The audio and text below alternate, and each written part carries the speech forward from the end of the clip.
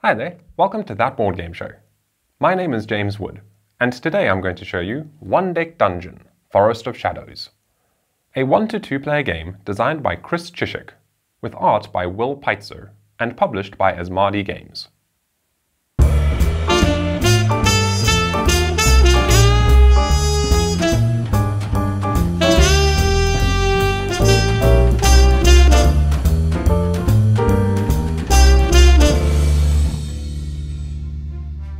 Adventure calls. Layers of monstrous enemies have sprung up all over the countryside. As heroes, your duty is clear. Conquer every dungeon, defeat every foe, and overcome every peril. As is tradition, you'll enter each dungeon with only the simplest equipment, and gather better loot as you delve. A deck of encounter cards contains all the dangerous foes and perilous obstacles you'll come across. Each card also shows the loot and experience gained by surviving your encounter. You'll need every advantage, because every time the deck is reshuffled, you'll descend one floor deeper. Each time you do, all the monsters and traps will get stronger and more perilous. If any hero runs out of health, the game will end. If you make it through three floors, the dungeon's boss awaits you at the bottom. Defeat it to claim victory. One Deck Dungeon Forest of Shadows is a sequel slash expansion for One Deck Dungeon. The two can be combined to play with up to four players, or you can combine two sets of Forest of Shadows. What's different in Forest of Shadows to the original One Deck Dungeon is the introduction of poison tokens. You'll see how those work as we play. And today I'm going to show you how we play by playing out a few rounds of the solo game just to give you a sense of how it plays and how it feels. And the difference between the solo game and the two-player game is very, very minimal.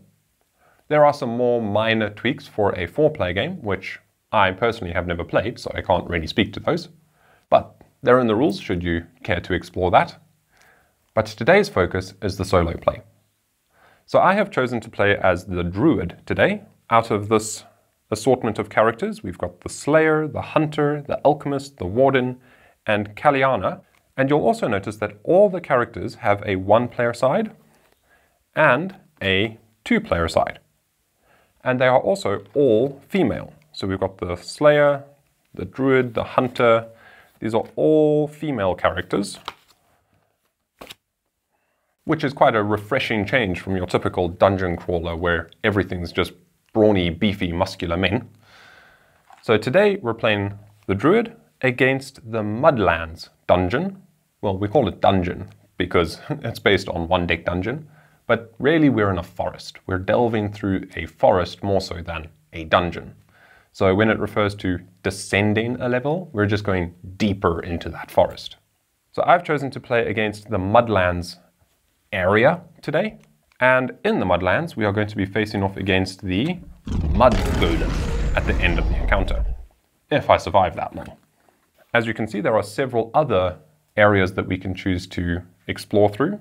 We have the Phoenix's Den, the Lair of Indrax, the Realm of Venom, the Vile Roots, and the Smoldering Ruins, all of which come with their own scary, terrifying, deadly boss.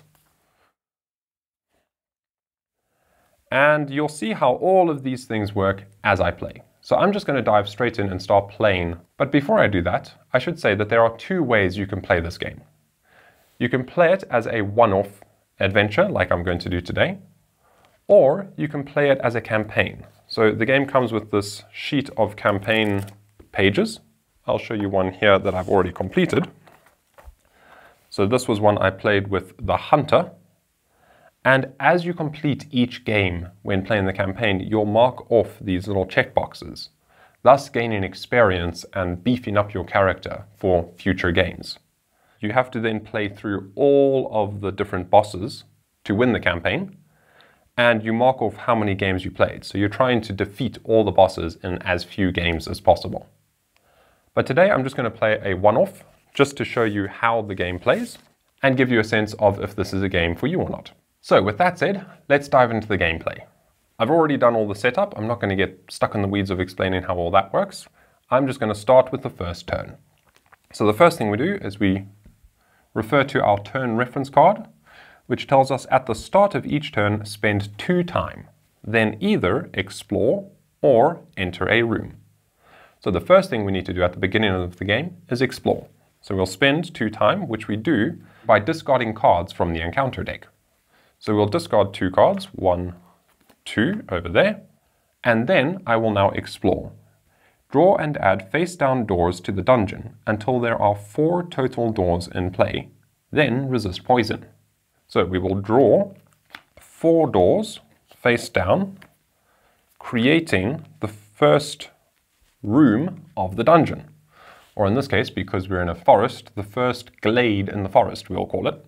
And now we have to resist poison.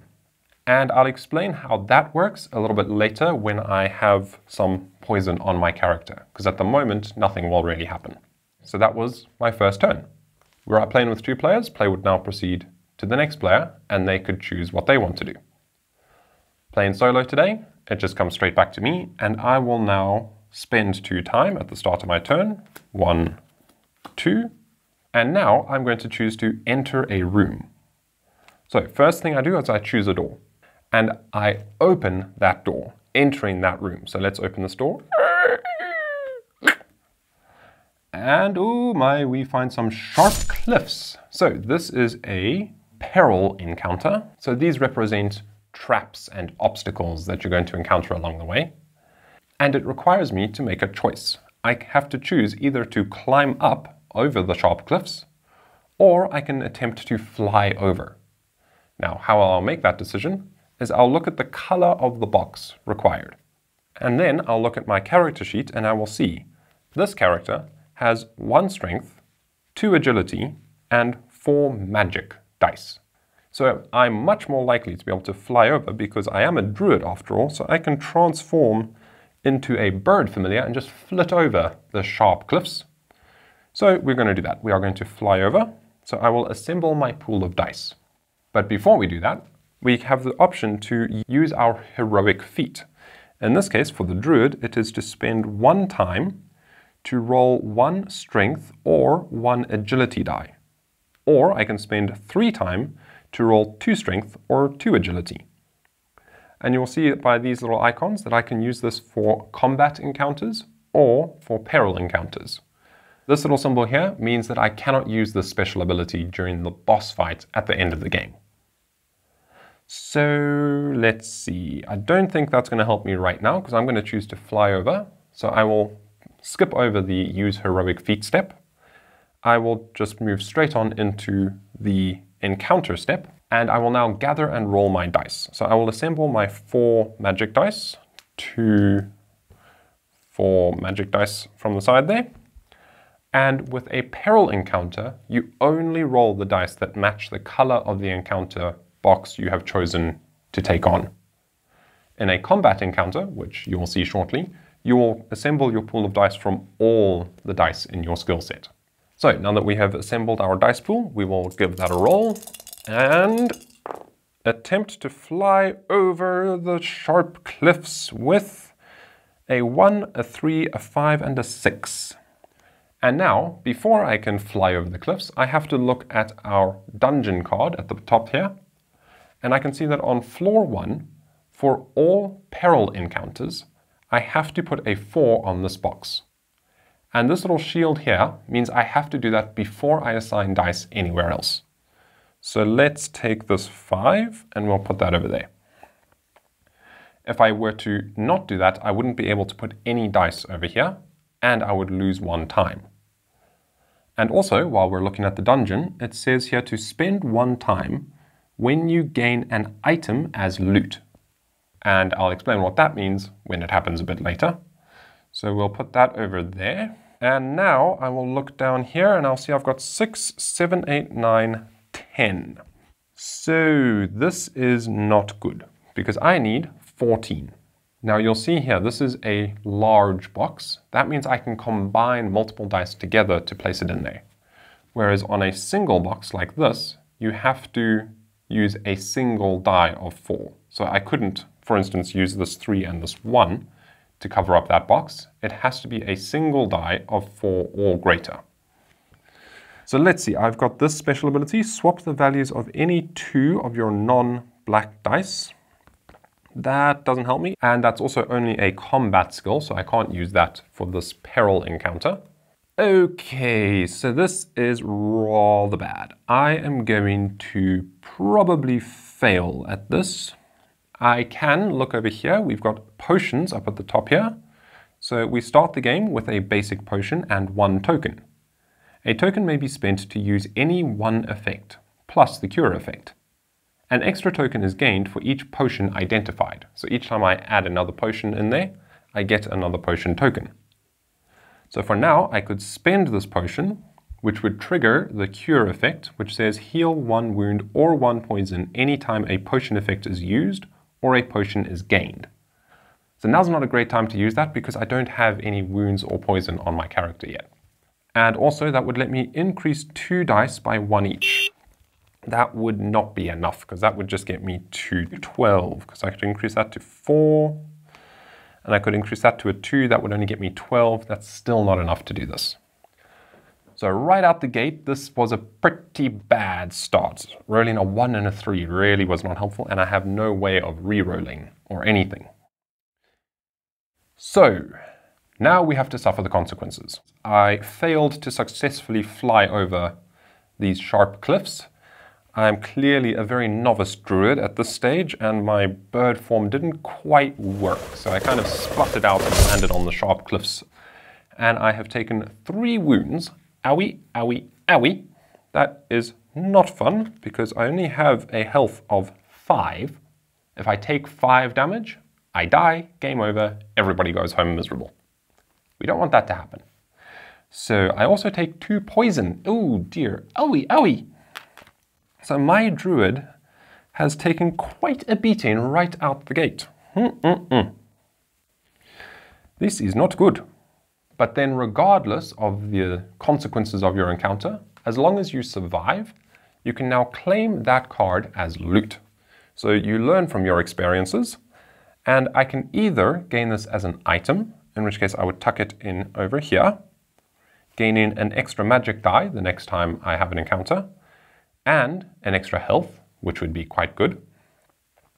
However, in the Mudlands, I have to be quite careful of that because I must spend one time whenever I gain an item as loot because I'm stuck in the sludge. So every item I take is going to hinder my movement just a little bit more and make me spend more time trudging through this area. Or I can take this item as a skill so if you see a little symbol like this, in this case an agility, that means you can tuck it at the bottom of your character sheet. And then I could use an agility die of any value to treat one challenge box as if it were any color. That could prove quite useful. Or alternatively, the other option when you claim a card as loot is if it had a potion symbol over there, Instead of gaining a skill, you would tuck it under the turn reference card up here, and you would gain another potion. Or finally, the last way you can use a card is by turning it sideways and tucking it into your level counter. And now you've got four experience towards leveling up. And you need six to level up from level one to level two. So I think for right now, I'm going to spend the one time because of the sludge, and I'm going to tuck this in here because I think I need that extra health, and more dice are always a good thing to have. But now you'll notice that I've just tucked an item here, so I must spend one time getting through the sludge a little bit more slowly because I've encumbered myself with another item. And I'm now at my item limit. So you'll see at level one, you can only hold one item and you can have at most two skills. So that is the end of that encounter. That is the end of my turn. I now clear all the dice off the challenge boxes and play would proceed to the next player. Play in solo, play proceeds straight back to me and we do it all over again. So first thing we do, spend two time, one, two, and then I will enter a room. Let's choose a door and open it. Boom and it's a goblin. Oh dear. This is a combat encounter, and it's a pack hunter. For each closed door, spend one time. Now, I have a choice. I can either encounter this right away, at which point I will trigger off this special ability, or I can run away. So if I flee, I can basically reset my turn. My turn ends immediately. And then I would have to spend two more time and I can try open another door. So right now, that's not going to be a very good option. Sometimes you have to do that. If you encounter something that you have no hope of defeating, then you don't really have much of a choice but to run away. But right now, I think I can handle a pack of goblins. So that means I have to resolve their special ability, which is for each closed door, spend one time. So I will spend one, two time, because there are two closed doors over here. And then I can choose to use my heroic feat, which I think I will do this time. I can spend one time to roll one strength die or one agility die, and you'll see I only have one strength die, and this needs at least two. And I look up at the area we are in, and I have to put a four and a five yellow strength dice up there. And I only have one, so I definitely need more, which means I'm probably going to go for this one. I'm going to spend three time one, two, three, which will allow me to roll two extra strength dice. So I'll add those to my pool. Then I will assemble the remaining pool of dice, which will be a extra strength die, two agility, and five magic. One, two, three, four, and five. And now we will roll the dice and then use feats and see what we can do. Go, go, go, go, go, and they go all over the place. Let's see, we've got a bunch of ones, which is pretty abysmal. Um, hmm, okay, we need, we need lots of yellows, and you'll see there are no armor boxes here. There's none with this little shield symbol. So basically, when we do a combat encounter, we look at this side of the area. And when we do a peril encounter, we look at this side. You don't have to resolve both sides. If I put a 3 over there, I can cover up that one. And you'll see that these are all single boxes, so I have to use a single die for each of these. I don't have a 6, so now I can use my Lilia Bird Companion. Swap the values of any two of your non-heroic dice. So I'm going to do that. I'm going to swap this blue 4 and this yellow 6. I'm going to make this blue 4 into a blue 6 I'm going to make this yellow 6 into a yellow 4. And now I can use this 6 over here to cover up that. I can use this 4 over there to cover up, um, let's actually cover up this one because that's going to give me a wound, which is bad. Then I need a lot more things. So I'm going to actually use a potion, which now is a very good time because I've got a whole bunch of wounds. So I'm going to glug a potion, glug, glug, glug, glug, glug. That will go over there. Use this potion that I've identified here, which says increase two dice by one each. So I'll increase this agility die into a five so that I can cover up that five over there. And I am now still looking for a three and a four and a yellow five. Hmm. I'm going to increase this blue die into a blue 4, which you might ask, why is he doing that? Because there is no space for blue dice on these cards. Well, what I can do now is I can combine these two blue 4s and I can convert them, I can transmute those into a heroic black 4. And a black die is a wild. It can represent any color. Now I can put this black 4 on any of these spaces except for the 5, which is the one I really wanted to cover up. But let's just cover up at least one of these, so there. That's going to save us a little bit of time. And now I've done what I can. I can't use any of these low values, they're not helping me. I have no way of re-rolling any dice. So I will now resolve the encounter, and that is going to cost one two, three time, I have to discard. One, two, three. It took quite a while to deal with this little pack of goblins. And I am inflicted with one poison because I spent a lot of time trudging around the sludge. So now we will discard all of these dice back to their respective pools. And we can now claim the goblin as loot. So again, we can take the item, we can take the skill, or we can take the experience. So I think I'm just going to take that as experience. I'm going to chalk that up as some experience and tuck it in over there. And proceed to the next turn. So spend two time at the top of the turn, open a door,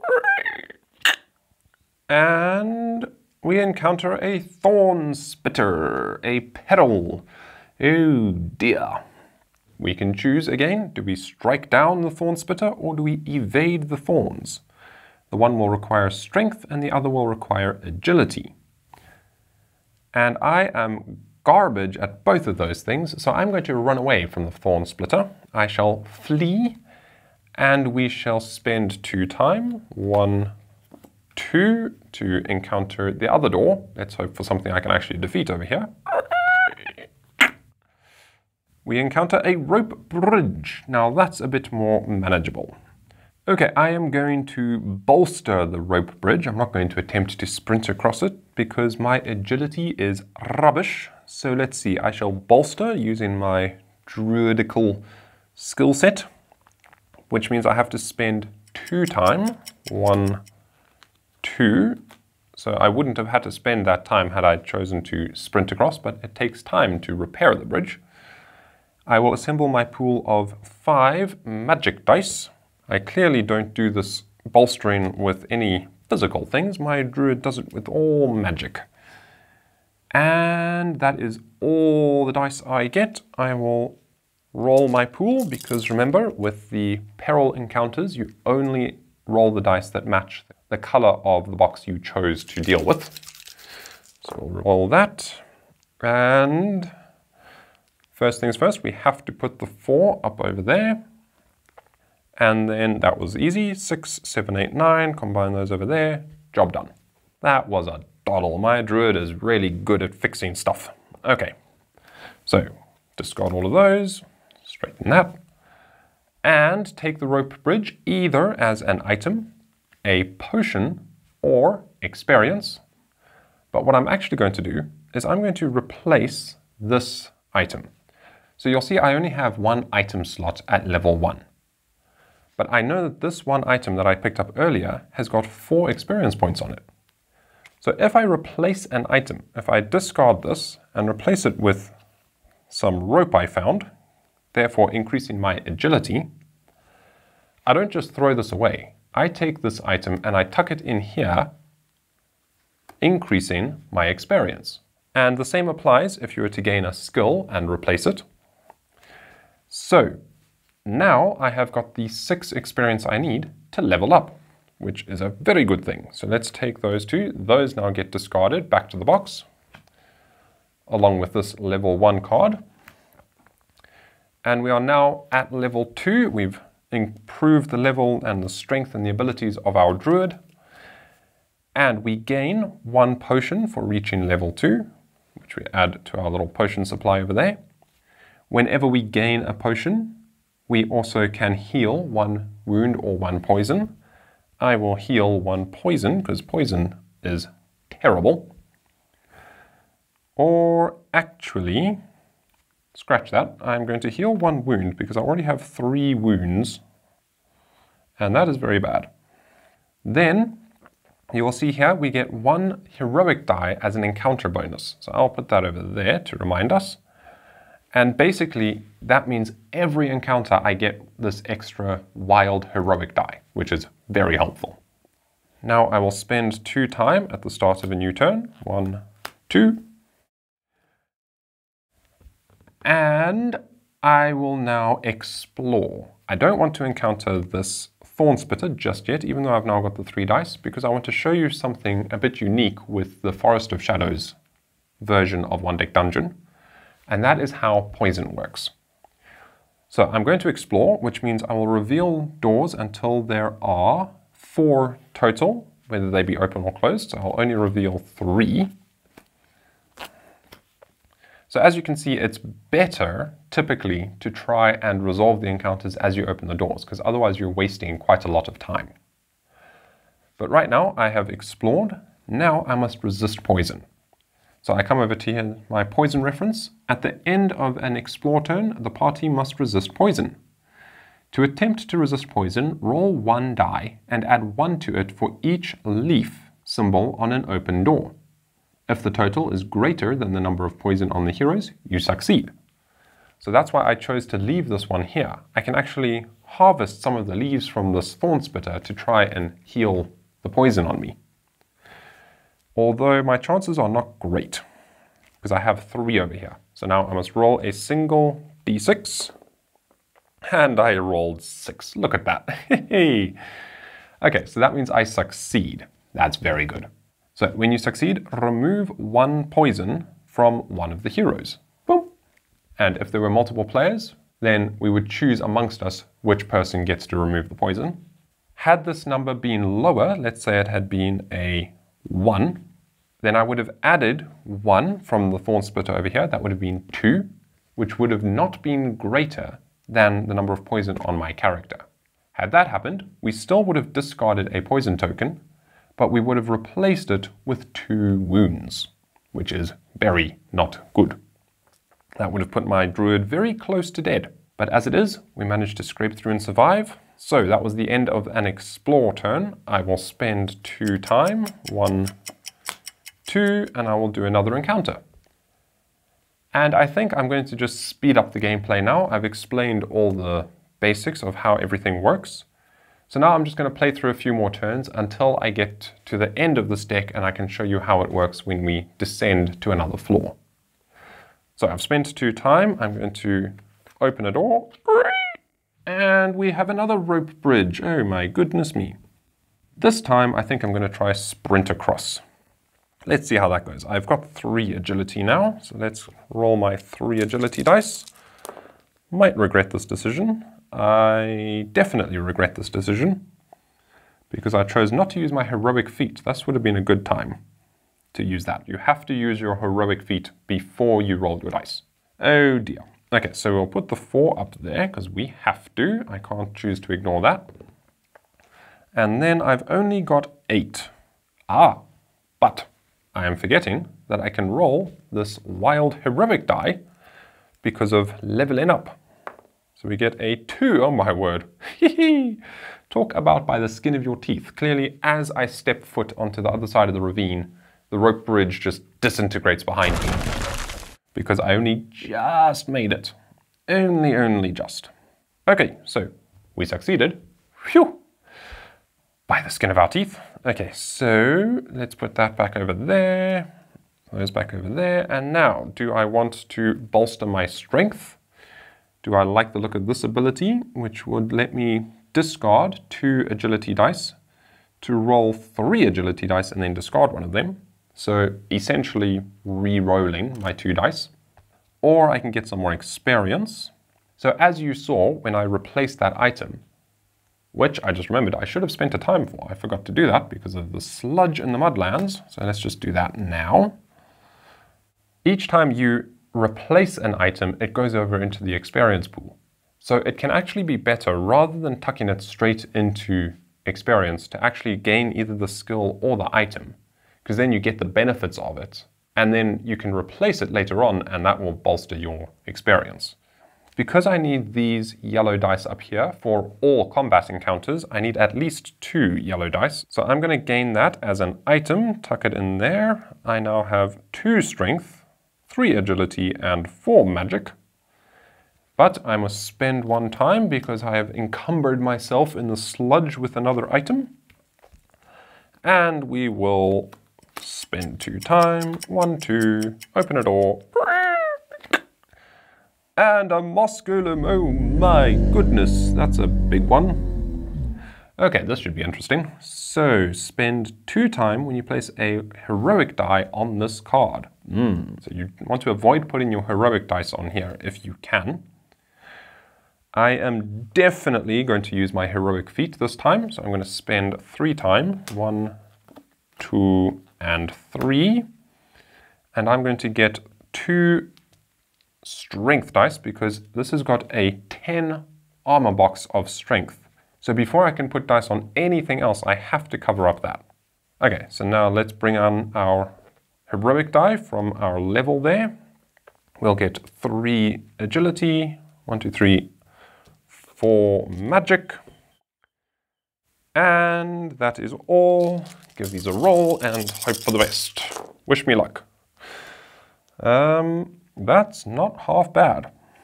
Not half bad at all. Okay. So I can just put those two over there, which takes care of that. That's pretty good. So that's 12 on that armor box, which needs 10. I could use my potion to increase stuff. I think that's probably not a bad idea. Yes, I'm going to use this potion, glug, glug, glug, and I'm going to increase two dice by one each, and whenever I use a potion, I trigger off the cure effect, which lets me heal a wound or a poison.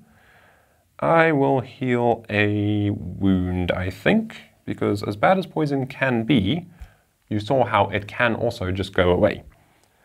Okay, so now I can increase two dice by one each. So I'm going to increase this blue five into a six, and I'm going to increase one of these pink fours into a five. Then I can put a five over there. I can put a four over there. I can put that six over there. I can put that five over there. And then I need a 6 over there, which I can't get. I can, however, combine these two 5s, or I could combine this 5 and this 4. If you combine different numbers, you take the lower value of the two. So I could take a black heroic 4, and then I can put that in over there. So those get discarded. I can swap the values of any two of your non-heroic dice. That's not going to help me right now. And that is all. So I'm going to take one wound from the moss. Ouch. And then I can claim that card as loot. So I can gain an item, which means I would spend a time. I could gain this skill, which would let me gain a 6 strength, a 4 agility, and a 4 magic, but spend one time. So I'd be giving up two yellow dice for one Mm, I don't like that too much. I'm going to gain this as an item. I'm going to tuck that in there because that's giving me an extra health as well. I'm going to spend one time because of the sludge. I'm then going to start a new turn. One, two, and open a door. And a rock worm. Oh my goodness me. Okay, those are both terrible things. I am actually going to run away from the rockworm, flee at a clip, because now I'm going to explore again. So I'm going to spend one, two time, and there we go. Okay. Now, first I have to resolve the explore, and then I'll explain how this works. So draw and add face down doors to the thingy, da -da -da, da -da then resist poison. I must now resist poison. And I will add two because both of these have the little poison symbol. So basically I'm guaranteed a success here, whatever I roll. And I roll a2, so I would have got rid of that anyway. So now I can get rid of one poison. And now we have encountered the stairs. While visible, place a damage token here for each time spent. Each time there are three tokens here, place one on a hero and remove the other two. At the end of any turn, the heroes may descend. If this card is revealed while spending time to start a turn, the heroes may descend immediately. I wouldn't actually have resisted poison. Let's rewind that, because as soon as this is revealed, if you're spending time at the start of a turn, you can immediately descend. So that's what I'm going to do. So these get discarded over to here. And now, to descend, we increase this level. And now we have to deal with all of that in every encounter. We take our encounter deck, we give it a shuffle, and I know some of you are cringing right now as I riffle shuffle, but as you can see, this game has been played quite a lot which you can tell by looking at my little campaign sheet over here, seeing how many different games I've played. And this deck is still holding up pretty well, even though I've always riffle shuffled it. So, Not telling you that you should do that, but also telling you that these cards, anyway, can stand up to it quite well. Now, we would start the second round, and we would simply keep going and playing like this turn after turn after turn, until eventually we have gone through the deck a second time. We'll then descend to level 3. Once we've gone through the entire deck again, we will then reveal the Mud Golem, and then we have to fight them, at which point we would flip over this turn reference to be a boss fight. So I'll just go over quickly how a boss fight would work. Obviously, by that point, you would have a lot more skills, you'd have a lot more items, you'd be a lot more beefy, you would have leveled up quite a few more times. So right now, I wouldn't stand much of a chance against this boss, but after going through three floors, your chances are a lot better. If I were to face off against the boss right now, I would assemble my pool of dice. Let's see, I've got four agility, I've got two strength, I've got the one heroic, and I get four magic. One, two, three, four magic. Okay. So at the top of each turn during a boss fight, if you must spend time during the boss fight, you will exile a die instead. And exile a die means you'll take a die from the pool and discard it out of the game permanently, thus losing access to that die for the remainder of the game until you've defeated the boss. Then the boss fight is like in a combat encounter, fought over multiple rounds. In each round, the first thing we do is resist poison. So, step one, we would resist poison. We rolled six, is greater than two, succeed, discard a poison. Then roll the dice. We would roll the dice and assign them to the boss. And then you'll see on the boss, we've got these little symbols here. So the first thing to remember is you can't use your heroic feats during a boss encounter. And the boss will inflict damage to the players, but the players can also inflict damage to the boss by covering up these symbols. So for instance, if I were to put this 6 over there, that's covering up one symbol, so that would deal 1 damage to the boss. Against the Mud Golem, at the start of each round, exile 4 dice. So this one makes you lose dice pretty rapidly. So you really want to take down this Mud Golem as fast as you possibly can. So let's see, with my current pool of dice, I would not stand a chance because I can't really combine these into anything. Let's see, I've got four, five, six, seven, eight, nine, ten. Yeah, I wouldn't be able to cover up that 22. So as you can see, right at the beginning of the game, you stand virtually no chance of beating a boss. But let's say I'd built up a whole bunch more dice. I'd be able to combine a whole bunch of blue dice to cover up that 22, a whole bunch to cover up that. Anytime you see the little wounds here, that's going to be you taking damage. And if you're playing with multiple players, you must always distribute the damage as evenly as you possibly can. But I think that gives you a really good idea of how One Deck Dungeon Forest of Shadows plays. If you have any questions about what you've seen here, please drop them down in the comments below and I'll do my best to answer them. And with that, I'll say thank you ever so much for watching, and I hope you enjoyed the show.